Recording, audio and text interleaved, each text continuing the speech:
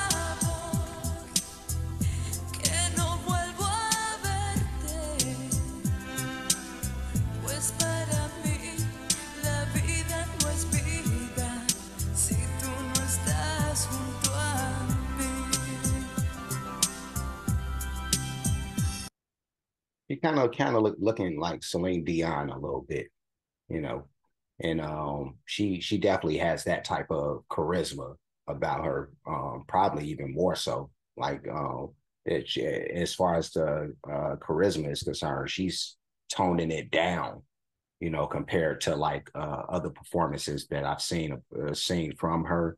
But um, uh, that's probably due to like just the tone of this song it's just kind of one of those songs where you just sit in a chair, you know. And um, my my Spanish is non-existent, so somebody has to tell me what this all this means. You know, all I know is por favor. like that's all I know, you know, and maybe mementos, so so a word here and there, but uh yeah, no, uh somebody has to, you know, translate for me. But uh yeah, let's keep it going. Junto a